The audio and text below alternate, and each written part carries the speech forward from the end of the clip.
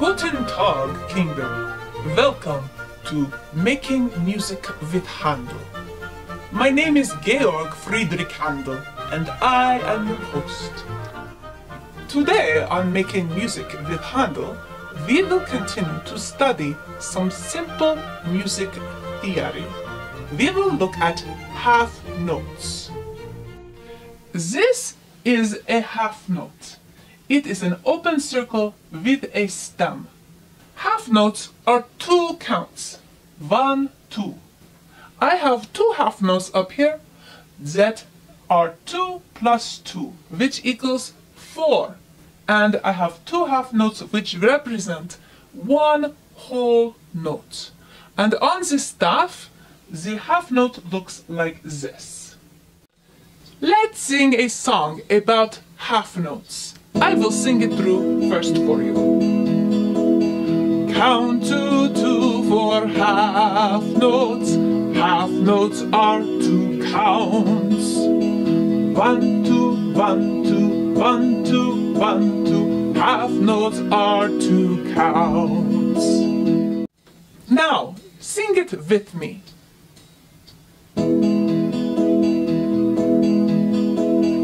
Count to for half notes. Half notes are two counts.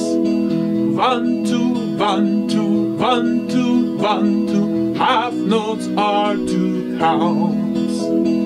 Count to two for half notes. Half notes are two counts. One, two, one, two, one, two, one, two. Half notes are two counts. Count to two for half notes. Half notes are two counts. One, two, one, two, one, two, one, two. Half notes are two counts. Count to two for half notes. Half notes are two counts. One, two, one, two, one, two, one, two. Half notes are two counts. Count to two for half notes. Half notes are two counts.